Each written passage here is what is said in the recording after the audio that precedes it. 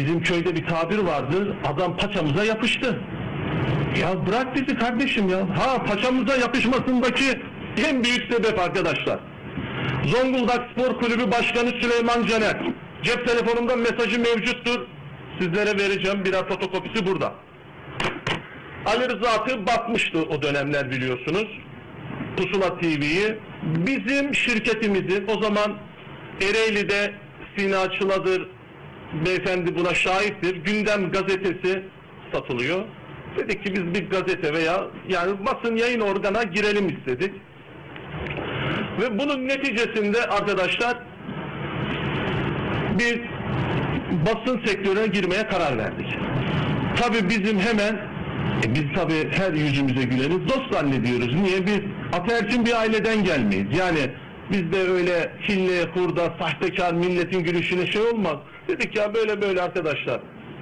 Biz bir televizyon ve gazete almayı düşünüyoruz. O arada da tabii hemen Süleyman Caner Başkan'ın iyi niyetli olarak ya Ali Rıza Atı dedi gazetesini satıyor. Konuşayım mı? Tabii ben o zaman Ali Rıza'nın ağasını bilmem. Tanımam kendisini. Dedim abi konuş bakalım alalım. Bakın alalım dedim arkadaşlar. Çok dikkat edin alalım. Bizden bir buçuk milyon lira para istedi. Bir buçuk milyon. O zaman uyduda bir yayın yapan Kocaeli'nde bir görüşmemiz vardı. Televizyon kanalı 800 bin lira istiyordu. Ve biz teşekkür ettik almayacağımıza karar verdik. Abi sabahleyin hemen saygıdeğer basın mensubu arkadaşlarım bir haber. X5'i olan milletvekili mi var? Arabamızda Millet Meclisi, Türkiye Büyük Millet Meclisi'nin amblemi var. Ya bunlar yani arabada milletvekili mi var yazıyor.